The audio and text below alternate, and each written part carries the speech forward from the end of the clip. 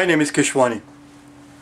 That's K E S H W A N I Keshwani. We are here because we want to prepare for TEAS. We have been solving TEAS math problems out of this book here, the official study guide, version 7, 2025. If you do not own this book already, purchase one immediately. You're going to need it.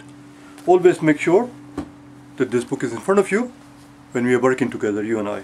Today is our lesson number 12. We are on page number 104. This is a continuation of what we did yesterday. Yesterday we solved five very simple, very very simple linear equations. And now on the next page, on page number 104, we have some practice problem. That's what they're calling them, practice problem. There are five of them again. And we're to knock them down one after the other. Five of them. Here we go. Very simple, very straightforward. Here's the first one we are told that x minus 17 is equal to 48. Question simply is, how much is x obviously? Well, in order to figure out the x, we have to get rid of this negative 17.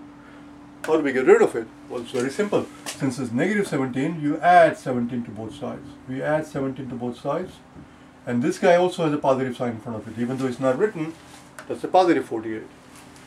So now we have added 17 to both sides and on this side as you can see negative 17 and positive 17 they're going to kill each other and we are left with only x. The x comes down, the equal sign is going to come down and we're left with 48 plus 17 that's 15 that's 5 looks like x is equal to 65. It doesn't look like it, it is equal to 65 okay. When I say it looks like it, it ain't a beauty it ain't a beauty contest. It is 65. I do not know where I picked up the Ebonics from. Number two. In number two, we have 2x minus 6 is equal to negative 4x. That's what we are told. Let me just confirm it. Yep.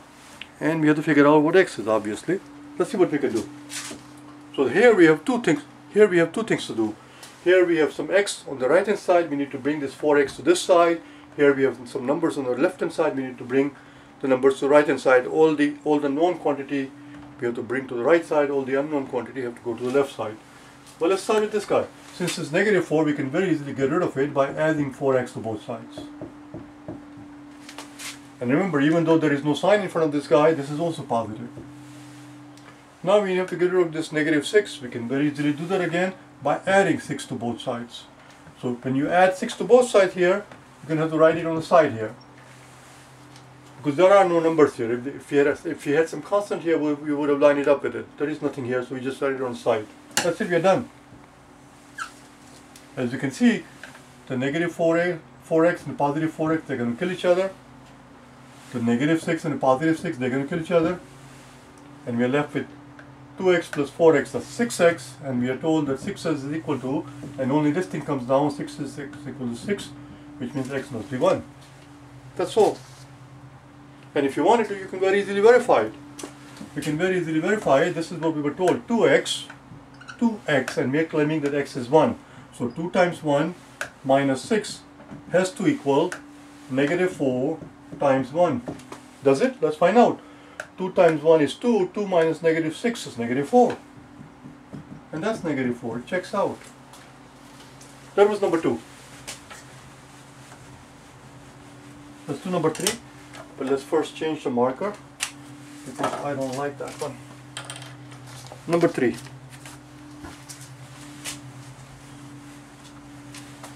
Number 3 we are told 6x is equal to 19. That's all. 6x is equal to 19. Well, we're not, interested, we're not interested in the bloody 6x. We want to know how much is x, 1x. We need to get rid of this 6. We can do that very easily by dividing both sides of the equation by 6. And whenever I end up doing something like this, I always like to bring my equal sign down a little bit so that it lines up nicely here so that it looks pretty. That's it we have a 6 on the top, 6 on the bottom, it goes away, and x is equal to 19 over 6. And since 19 is more than 6, since the numerator is more than 6, we cannot leave it like this. If the top is more than the bottom, we have to write it in a mixed number. We have to write it in the form of a mixed number.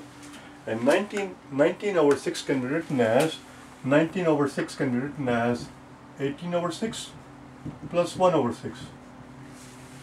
Would you agree that 19 over 6 is the same as 18 over 6 plus 1 over 6? Of course you would. And 18 over 6 is 3. If we divide top and bottom by 6, we get 3. So the answer is 3 and 1 sixth. That's your final answer. And that was number 3. Let's do number 4. Number 4 says solve, obviously, 7 fifth x equals to 35. 7 fifth x is equal to 35. But we want to isolate this x. We want to have x by itself. But in front of it, we got a fraction. How do we how do we tackle it? How do we deal with it? Very simple. If you whenever you have a fraction there, if the coefficient is a fraction, we can get rid of it by simply multiplying it by the reciprocal, 5 over 7. And if you're going to multiply this side by 5 over 7, we have to do the same thing here, 5 over 7. And now we can take care of it because we get 5 on the top, 5 on the bottom. If we divide top and bottom by 5, we can get rid of this 5. Again, we divide top and bottom by 7, we get rid of this guy. You understand? And we're left with only x. x is equal to 35 times 5 7. And now this 35, if it helps you visually, if it helps you visually, this 35 is 35 over 1. So we have one fraction, we multiply by other fractions, see if we can reduce it. We have a 7 on the bottom and we have 35 on the top. 35 is a multiple of 7. 5 7s are 35. If you have 5 7s, 5 of them. 1, 2, 3, 4 and 5, that's 35. Let's divide top and bottom by 7. That's how you read it. 5 7s are 35. 5, 5 7s are 35. That's how one reads it. 5 7s are 35 and so are seven fives. Seven fives are also 35, of course, because 5 7 means 5 times 7 and 7 5 means 7 times 5. Of course 7 times 5 is same as 5 times 7. Anyway, that's, I'm just babbling. So 35 reduces, when you divide top and by 7, we end up with 25. x equals 25. That's it. Let's do the next one. Number 5. number 5. In number 5 we have an equation here 6x minus 9 3x plus 12 and the question what they're asking here is that question is this question is what is what is an acceptable first step that's all they want to know what is an acceptable first step? And of course, you have in front of you there are five, uh, four answer choices there, and we have to pick one out of those four, which which might be considered as an acceptable first step. Let's talk about it for a second, shall we? Let's pretend that we are going to solve this equation. Or better yet, let's not pretend it. Let's solve the bloody thing. If we were given this equation and if we had to solve for x, what would you do? What's the first thing you would do? Well, there are only two possibilities. There are only two options we have here. And when I say two options, that mean I don't mean two options as in one or the other. There are two things we have to do here. That's what I meant to say. There are two things that need to be done. We need to bring the numbers to the right hand side. The constant, the known quantity has to go on the right hand side and the unknown quantity has to go to the left hand side. This is the positive 3x. And that's a negative 9. So to get rid of this negative 9, we have to add 9 to both sides. That's one thing we could do. But that is not one of the answer choices. We just added 9 to both sides. Add 9 to both sides.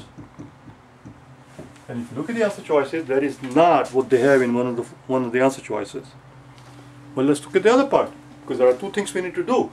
We need to bring 9, we need to get rid of this constant, negative 9, we need to get rid of the negative 9, bring it to the other side, and at the same time, we need to bring the unknown quantity to this side which we'll do by subtracting 3x. Let's subtract 3x from both sides. So the other option is either either do this or subtract 3x from both sides. Now, I want you to understand that when I say either this, either do, I do this or that, in the context of the problem itself, because if, if that is not the option, this must be the option the answer choices, and it is. But of course, if we were actually solving the equation, this is no longer or, we'll have to do both this and that. We have to do this, which we have done, we have added 9 to both sides, and we'll have to subtract 3x from both sides because we want to get rid of this 3x. So it's not an or, it's you have to do this step and that step. Which one do you do first? That's what they mean by that. We have to do this step and that step. Which step do you do first? That's what they mean by that. You can do either one of them. You could do either one of them as the first step and it would be considered perfectly acceptable. The only problem is this is not one of the answer choices. This is one of the answer choices. Answer choice C says subtract 3x from both sides. There you go. Answer is C because they did not give that as an option. We're going to continue with this thing. Why stop right here? Let's continue this thing since we have it in front of us. Let's solve it. So the answer to this problem is C. The first acceptable first step, subtract 3x from both sides as we have done here. And we're going to continue with it. Okay? So this 6x that you see, let's, let's erase the question number so it doesn't cause confusion that 6x that we see here, it, it actually has a sign in front of it. It's a positive sign. Just like I inserted positive sign here. If there is nothing there, it's positive. So now we have a negative 9 and a positive 9, they're going to kill each other. That was the whole point. That was the whole bloody point because we wanted to get rid of it. Similarly, a positive 3x and negative 3x, they're going to knock each other out. And we are left with here on this side, positive 6x, positive 6x and negative 3x, that's going to be positive 3x and this equal sign comes down and here we have 9 plus 12 plus 9 which is 21 we want the x by itself let's divide both sides by 3 3 is going to go away and x is equal to 7 there you go x is equal to 7 and if you wanted to we can very quickly verify it it doesn't take that long let's go we can very quickly verify it what we were told what was given to us is that 6x and we are claiming that x is 7. 6x and we are claiming that x is 7. 6 times 7 minus 9.